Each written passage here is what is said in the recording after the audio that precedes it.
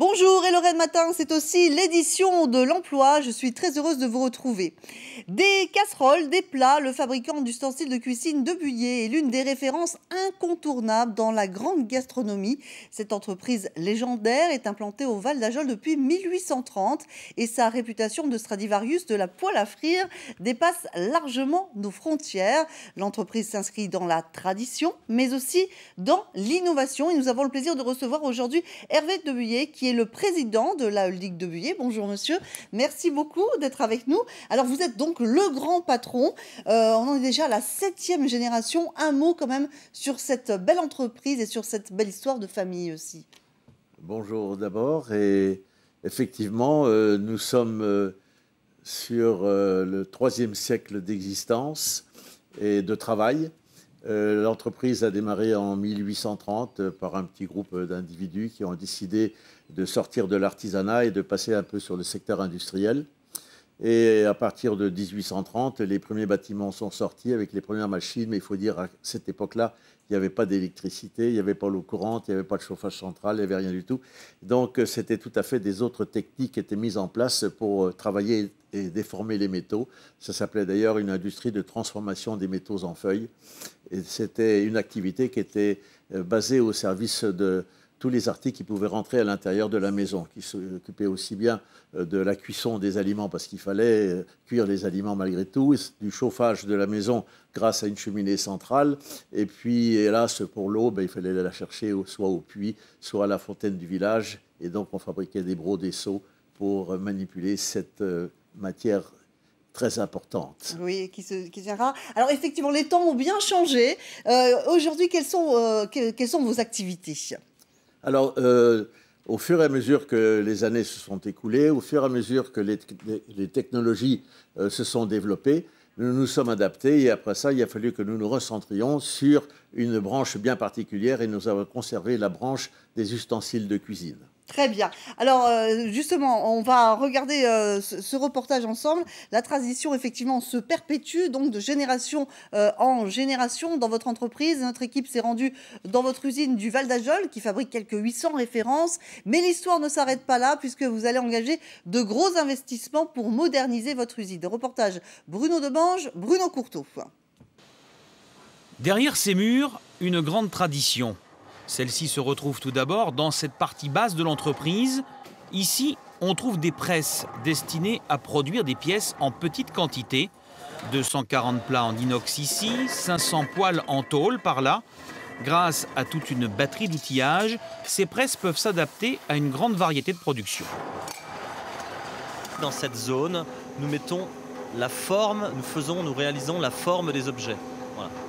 Donc dans cette euh, partie, on va trouver des personnes qui effectivement sont euh, euh, des gens qui ont une grande expérience. Et cette expérience est acquise sur le site, bien évidemment, mais également la particularité de cette entreprise fait que nous avons des gens qui, dont les parents, plusieurs générations de parents, sont venus sur ce site. Si l'usine a 184 ans, la partie haute du bâtiment est toute neuve.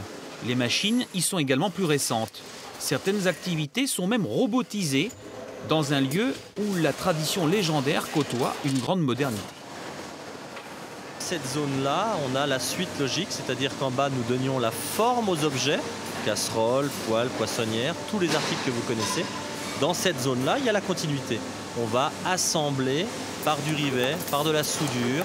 On va également faire certaines opérations de finition et de conditionnement. Le résultat, le voici. De très belles collections, appréciées et reconnues par toute la profession hôtelière. Seules trois marques en France disposent d'une telle réputation, ce qui n'empêche pas l'entreprise du Val d'Ajol de chercher à se montrer innovante. Pour preuve, très bientôt, la construction d'un centre de recherche va être lancée. Et justement, ce centre de recherche, euh, M. Buyet, c'est un gros investissement. Hein. Eh bien, euh, c'est un investissement qui fait une suite normale à ceux qu'on vient d'entreprendre actuellement il a fallu qu'on retransforme quand même une grande partie des bâtiments qui dataient de 1830 pour les adapter aux productions et aux techniques d'aujourd'hui. Donc nous avons réinvesti environ 5 millions euh, d'euros dans l'équipement et dans l'implantation du matériel et les bâtiments et les bureaux. Mhm. Pour vous, euh, innover, c'est aussi la clé pour, pour durer. C'est important dans ce monde qui va très vite. C'est certain que le monde va très très vite. Et euh, aujourd'hui, d'ailleurs, même si vous avez un iPhone que vous avez acheté au mois de janvier, déjà au mois de juillet, il n'est plus d'actualité. Donc nous, c'est un peu pareil dans les ustensiles de cuisine. Euh, nous fabriquons euh, plus de 1800 produits différents, donc c'est pas seulement 800. D'accord. c'est 1800, donc vous voyez, c'est une, une, grande production. Et nous avons des produits qui sont aussi bien adaptés pour le ménage, c'est-à-dire la ménagère, euh, la maison bourgeoise, etc., qui aiment cuisiner encore, et puis les hôtels euh, étoilés, les grands restaurants, des grands établissements. D'accord, et, vous êtes vraiment euh, international, hein, on peut dire, il y a beaucoup d'exports dans votre production. Alors cette production sert d'abord sur le plan national, parce qu'il faut d'abord être bon sur le plan national pour pouvoir exporter. Aussi, la France est quand même le pays moteur de la gastronomie. Et donc, euh, nous partons effectivement à l'exportation parce que nous avons choisi euh, le secteur de la haute cuisine. Donc on fait des ustensiles de cuisine qui sont très sophistiqués, euh, de très grande qualité et qui permettent justement aux chefs cuisiniers de pouvoir développer leur talent d'une façon exceptionnelle. Et ça, ce talent, il est reconnu dans le monde entier. On exporte 50% de notre production à l'international. Nous sommes sur tous les continents. D'accord. Mais ce qui est important pour vous quand même, c'est de rester ancré euh, au Val d'Ajol, d'y maintenir également les, emplois. Ça, ça vous tient à cœur? Ben, Naturellement, déjà, la gastronomie, c'est un produit français qui s'exporte dans le monde entier. Donc, euh, si nous partions à l'extérieur, on serait plutôt à côté de la plaque. Là, nous avons voulu d'abord rester lorrain, puis vosgien, et grâce à ça, nous avons institué une culture de la gastronomie et des ustensiles de cuisine dans le secteur, dans la région. Et toute la main-d'œuvre, pour ainsi dire, vient de 10 km à la ronde. D'accord. Euh, un mot encore euh, sur ce centre de recherche. Pour l'instant, pas de date vraiment précise. Non, je n'ai pas de date précise pour ce nouveau centre de recherche et de développement, mais c'est quand même euh, très très proche parce que, comme vous avez dit tout à l'heure, tout va très vite. Euh, ça, c'est un investissement qu'il faut faire avant deux ans. Pourquoi? Ben Parce que aujourd'hui, euh, tout va très vite et les gens sont beaucoup à la recherche de l'innovation et des nouveaux produits. Quand il y a une période de crise, les gens se retranchent, les revendeurs se retranchent derrière une marque et nous, nous sommes obligés de leur amener des nouveautés parce qu'ils ne vont pas faire leur développement en période de crise sur des produits qui sont déjà un petit peu usés et obsolètes. D'accord. Un, dernier mot rapide pour conclure. Euh, donc, effectivement, des emplois à 10 km à la ronde. Ce centre de recherche devrait également euh, générer de, nouveaux emplois sur le secteur Nous, certainement. Si vous voulez, euh, nous ne sommes pas là pour, parce qu'on vient du passé. Euh, mais par contre, l'expérience du passé nous sert pour vivre aujourd'hui et nous trace euh, le chemin pour demain. C'est ce que nous ferons aujourd'hui qui nous dira ce que nous devrons faire demain. Si aujourd'hui nous ne faisons rien, demain nous ne ferons rien du tout. Mais si forcément on se développe, la main-d'œuvre suivra, c'est automatique. Vous savez, c'est les commandes qui commandent euh, le travail. Et puis, s'il y a du travail, eh bien, on embauche. Et si on embauche, c'est merveilleux. Très bien. merci beaucoup Hervé euh, de pour ce témoignage euh, très intéressant euh, et en même temps émouvant. Merci beaucoup. Place à présent à nos offres d'emploi avec Youpic.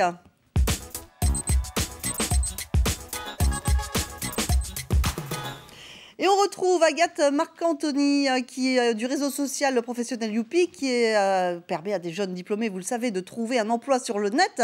Agathe, bonjour. Tout d'abord, vous nous proposez un poste de conseiller de vente. Oui, un poste de conseiller de vente chez Bouygues Télécom. Donc, c'est un CDI à pourvoir immédiatement. Il est demandé d'avoir un bac plus 2 et une première expérience dans la distribution spécialisée. C'est un contrat de 37 heures du lundi au samedi. Et puis un autre poste cette fois-ci, c'est de conseiller clientèle professionnelle, Agathe. Tout à fait. Un poste donc euh, à la Société Générale, donc c'est un CDI également à partir d'octobre à Épernay. Donc, c'est un bac plus 5, 24 mois d'expérience. La rémunération est de 30 000 à 45 000 euros par an. Et la mission sera la gestion quotidienne d'une clientèle de commerçants, artisans et professions libérales. Très bien, merci beaucoup Agathe. Et si vous êtes intéressé par ces postes, vous pouvez bien sûr faire acte de candidature sur www.youpic.com. L'égalité homme-femme, rêve ou réalité Depuis les années 80, plusieurs lois ont tenté de l'imposer, mais on est encore bien loin de cette réalité. L'écart des rémunérations reste bien réel. Les contrats à temps partiel sont essentiellement, il faut bien reconnaître, féminins. Pour lutter contre ces inégalités, la nouvelle loi du 4 août 2014 va-t-elle enfin changer la donne. C'est ce que nous allons voir avec Patrice Adam, qui est professeur agrégé des facultés de droit de l'Université de Lorraine. Bonjour Patrice, heureuse de vous retrouver. Alors quels sont les principaux apports de cette nouvelle euh, loi en matière d'égalité au travail déjà? Alors, le principal apport, il est assez technique. Il porte sur une obligation faite aux entreprises où des syndicats sont implantés de négocier avec eux pour euh, parvenir enfin, effectivement, enfin à cette égalité professionnelle. Alors, ce n'est pas une nouveauté totale, parce Mhm. qu'elle existe depuis longtemps. Simplement, la loi nouvelle a un mérite, c'est de simplifier les choses. Désormais, on a une négociation unique qui portera chaque année sur l'égalité professionnelle, qui portera sur les conditions de travail, sur les conditions de formation, sur les conditions de promotion des femmes, sur le déroulement de carrière des femmes, et qui portera également sur de nouveaux outils d'information qui se situent dans un rapport qu'on appelle le rapport de situation comparée. Donc plus de simplicité, plus d'efficacité dans l'information pour effectivement que enfin cette égalité se concrétise. Alors, cette loi se donne aussi comme objectif le partage des responsabilités des enfants. Euh, de quelle manière procède-t-elle exactement? Alors oui, alors c'est peut-être le gros morceau en fait, cette histoire-là. Euh, puisque vous savez que jusqu'à présent, euh, plus de 95% des femmes prenaient ce qu'on appelait des congés parentaux d'éducation pour Mhm. s'occuper des enfants après Oui. la naissance. Plus de 95%. L'idée effectivement, c'est que les pères s'investissent davantage. Or, pour que les pères s'investissent davantage, il faut une incitation pécuniaire. C'est comme cela. D'accord. Euh, vous aviez jusqu'à présent quelque chose qu'on appelait le complément de libre choix d'activité, qui permettait, qui était versé par les CAF aux parents qui prenaient effectivement, qui était de 6 mois ou de 3 ans selon que c'était le premier ou euh, le second enfant.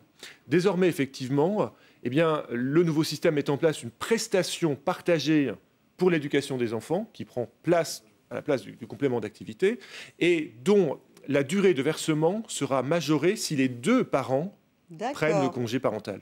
L'idée, effectivement, c'est de dire au couple, si le père prend son congé parental, vous toucherez de l'argent plus longtemps. Ouais, ouais, donc c'est vraiment incitatif. Euh, et le nouveau texte prévoit également euh, d'autres mesures tendant à favoriser normalement euh, l'égalité pour tous. Cette fois, est-ce que vous pouvez nous en dire Oui. quelques mots, Alors, Patrice revenir peut-être quand même su- sur les pères, outre cette, euh, ce- ce- ce- ce- cette prestation partagée, peut-être dire aussi que les pères désormais vont pouvoir bénéficier d'un nouveau congé. euh, pour s'investir non seulement quand l'enfant est là, mais avant qu'il soit là pendant la grossesse. C'est-à-dire que Ah, désormais, les pères Mhm. pourront Mhm. effectivement bénéficier d'un congé pour assister à trois examens médicaux obligatoires, euh, les fameuses radios. Euh, donc là, les pères pourront s'absenter. Donc ça, c'est la première chose. On verra s'ils le feront. Oui. je ne sais pas. On Mais espère quand même. J'espère, On est en droit de j'espère, on, l'espérer. on verra, on verra. On verra s'ils le font. Et l'autre, l'autre nouveauté, effectivement, il y a deux autres nouveautés. La première porte sur euh, les gens qui sont paxés, qui désormais vont bénéficier d'un congé de 4 jours pour la conclusion du Pax, comme les gens qui se marient ont droit à 4 jours. Donc ça, c'est une petite nouveauté qui bénéficiera à tout le monde, euh, couple hétérosexuel comme homosexuel, bien évidemment. Et puis l'autre nouveauté, c'est de permettre à des gens qui ont des comptes épargne-temps dans leurs entreprises de débloquer 50% de ces comptes épargne-temps pour financer chez eux des activités de service. Soyons clairs, l'idée étant de permettre de libérer euh, les femmes, parce que c'est souvent elles qui s'occupent encore du ménage, peut-être que la loi va changer des choses, je l'espère, mais de financer effectivement éventuellement des, activités de repassage ou de, ou de- de- de- de ménage par le biais effectivement du compte épargne-temps. Donc c'est une nouveauté intéressante. Très bien. Eh bien, merci beaucoup, euh, Merci à Patrice vous. Adam, et à bientôt. Merci. à vous tous de nous avoir suivis. Et bien sûr, Lorraine Matin continue avec notamment le Flash Info. Très belle journée à vous tous.